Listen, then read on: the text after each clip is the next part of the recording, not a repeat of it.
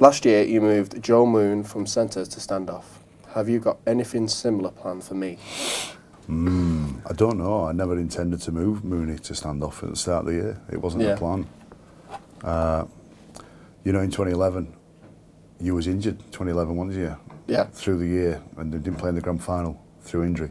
We moved Carl to centre. If you remember, Carl Ablett to centre. That was about 15 kilos ago, Yeah. wasn't it, with Carl Ablett? Yeah. But, he was uh, at Edgard, didn't he? he went was at- at he- he hurt his head, didn't he? So. very attractive man with that Edgard on, Yeah. wasn't he? But uh, but I never, you know, that that wasn't a plan. And just I don't know, there's certain things happen. You see, Mooney, Mooney's played six before, hasn't he? He played for uh, New Zealand Warriors as a, as a 6 But uh, I'm not sure how much of a six he is. But he does create for other people, and he's hard to read. And I can't tell what he's going to do. And if I can't tell you what he's going to do, then the opposition certainly can't. Uh, do I have similar plans for you? Probably not.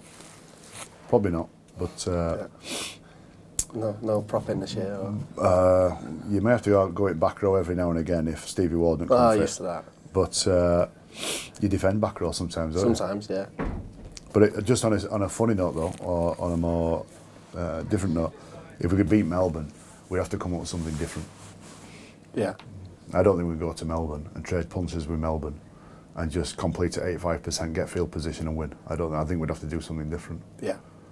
Now, whether that involves you or Mooney or Richie Myler or something, somebody doing something a little bit without compromising us as well, because you can't go over there and come up with a circus game plan either. Yeah.